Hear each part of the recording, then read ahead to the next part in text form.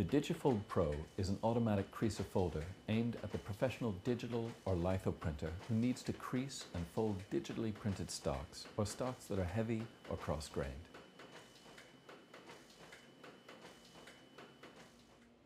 Some rotary scoring machines use circular blades that actually cut through the top fibers of the paper to create a score. This weakens the sheet and encourages cracking. The Morgana Digifold Pro, however, uses the unique Dynacrease creasing rule in Matrix, which eliminates tearing and cracking. The Dynacrease is guaranteed for life and delivers an accuracy of plus or minus 0.003 of an inch.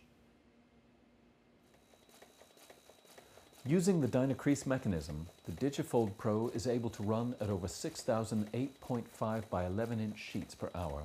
This increases when running smaller sheets. The Digifold Pro is controlled by a 7-inch smart screen panel. This means all the operator has to do is to key in the sheet length and which crease fold scheme to produce. All settings are made automatically.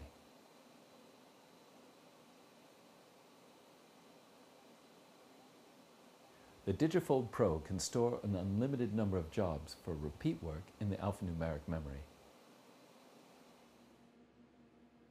Maximum sheet size handled by the Digifold Pro is 27.5 by 15.1 inches or, with the optional extension table, 35.4 by 15.1 inches.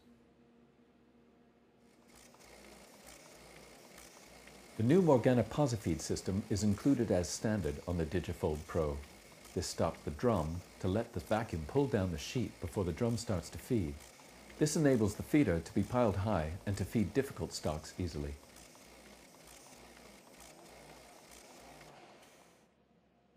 A wide range of stocks can be handled with simple adjustments of roller pressures. A crease skew adjustment dial can compensate for slightly non-square sheets.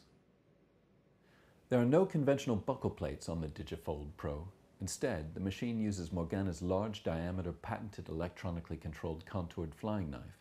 This has been developed to prevent scuffing and marking on digital stocks. The Digifold Pro can be used as an integrated creaser folder performing both functions in a single pass or as a standalone creaser when folding isn't required or as a perforator when creasing or folding are not required.